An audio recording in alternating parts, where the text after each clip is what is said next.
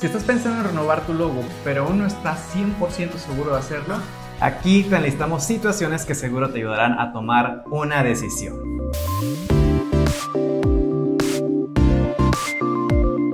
Número 1. Logo complejo de interpretar. Recuerda, el uso de elementos saturados en tu logo puede ser un impedimento para tener una memorabilidad. Elimina formas, trazos o cualquier objeto que sature demasiado tu logo.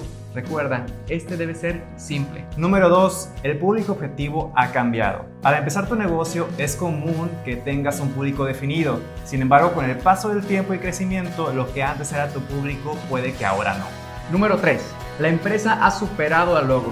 Como el caso de Container Care, este punto conecta un poco con el punto anterior. Debido al crecimiento de la empresa, el logo puede que ahora luzca chafa o poco profesional. Recuerda, no basta con ser profesional, también hay que parecerlo. Número 4. Cambio de nombre de la marca. Hay varios motivos por el cual el nombre de una marca cambia. Fonéticamente no agradaba, hay una evolución de marca, hay algún impedimento para el registro, entre otros.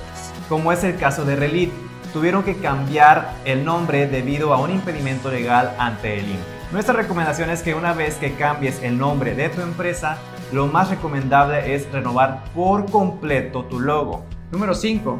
Logo antiguo y fuera de moda. Este punto comparte los principios del punto número 1. Antes, los logos entre más cosas tenían, mejor. Ahora, entre más simple y sencillo, es mejor. Como el caso de Cinepolis, la estrella estaba conformada por cintas de película, lo cual representaba a los filmes que antes se distribuían en copias de rollos. Ahora con su nuevo logo representan la proyección de una película dentro de una sala. Número 6. Evolución de la empresa. En este punto se resumen todos los puntos anteriores. Número 7. Aniversario ya sea de 5, 10, 15 o más años. Aprovecha los aniversarios para hacer ajustes a tu logo. Si tu marca está funcionando pero tu logo no te gusta, puedes irlo modificando cada ciertos años de manera sutil para que el rediseño no sea tan brusco. Como el caso de Coca-Cola.